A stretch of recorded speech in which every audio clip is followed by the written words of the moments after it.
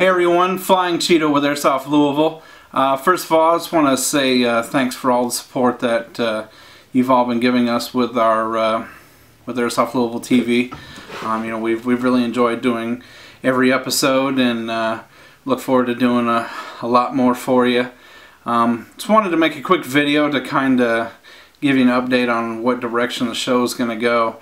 Um, you know, every every one of these episodes seems to uh, get longer and longer. When we started out, we are at like 15, 20 minutes, and now, uh, you know, every time we get done filming during the week, uh, I've got over an hour of footage, and I got to trim it down to 25, 26 minutes, somewhere around there. Um, I understand, you know, uh, more than happy to post up an hour long video on YouTube, but uh, we all don't have time to sit through all that.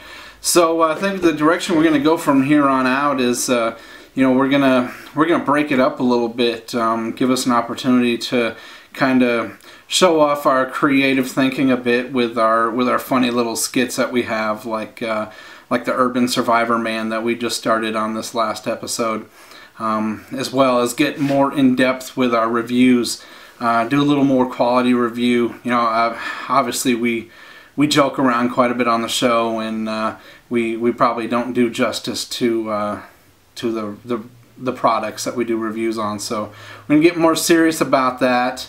Um, you know, we've got a great partner in uh, Asylum Extreme, so we're gonna take advantage of that and uh, do our best to uh, to to showcase the the products that they they offer to the airsoft community here in Louisville.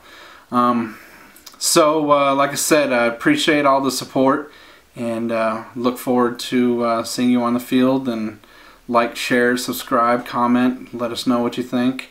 Um, you know, there, a lot of people have reached out to us wanting to get on the show, and we're, we're doing our best. You know, uh, you can tell the every episode's getting busier and busier. We, we got we got a lot going on, but uh, we want to get to everyone. Um, so, uh, thanks again.